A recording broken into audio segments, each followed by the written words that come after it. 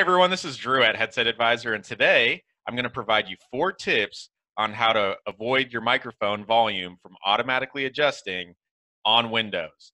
Now, keep in mind, I don't work for Microsoft, or do I claim to be a Microsoft expert, but the tips and tricks I'm going to share with you is uh, information I've learned over the years of helping customers troubleshoot their headsets.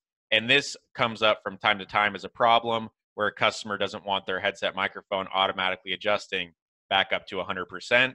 They want to adjust their microphone volume where it's best for their headset so they sound crystal clear. If this video by the end of it is helpful, please hit the like, subscribe for more videos like this, and leave us a comment with your thoughts. Or if you have a question, uh, ask that question in the comments and we'll answer back. If we don't have the answer, we'll see if we can get it and help you out further from there. So I'm going to go ahead and share my screen.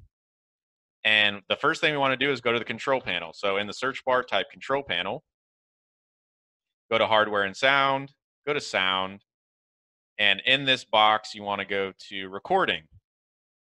Uh, in the recording tab, you're going to go to your audio device. My audio device is the Discover D722U headset.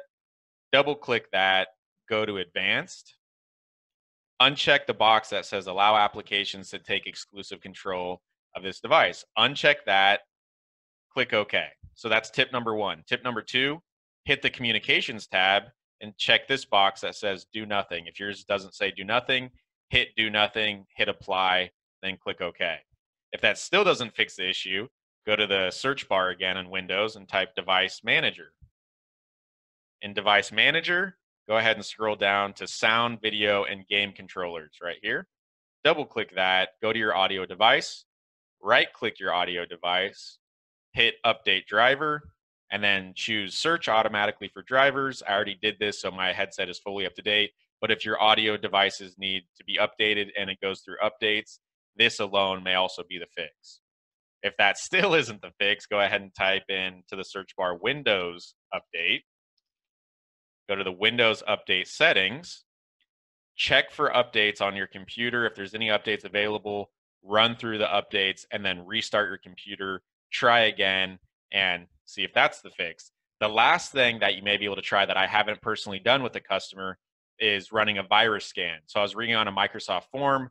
Some customers reported they went through a virus scan, um, found a virus, removed the virus, and then that fixed their issue. So between one of these five tips, hopefully this does uh, fix the issue for you. If it doesn't, the last thing you can do really is reach out to Microsoft support team and see if they can pinpoint the issue, if they can give you any further tips that I'm not aware of or that I don't know about. So that's it for now. Hopefully, this video was helpful. If it was, please hit the like, subscribe, and comment. Thanks for watching this video, and we'll see you next time.